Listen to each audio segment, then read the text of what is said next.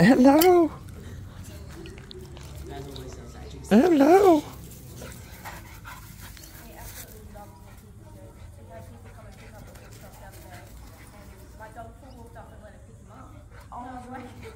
Yeah, because if there's two open their car doors, I reckon Baz will in their car and go. 100%.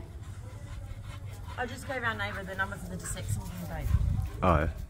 Hello. Who's on eight? Hello. Oh, look like they're brilliant. They're both doing their thing. We met him yesterday and he was like a bit scared, but now he's pretty chill. Yeah, he's more relaxed today. Yeah. He doesn't mean to be. He's looking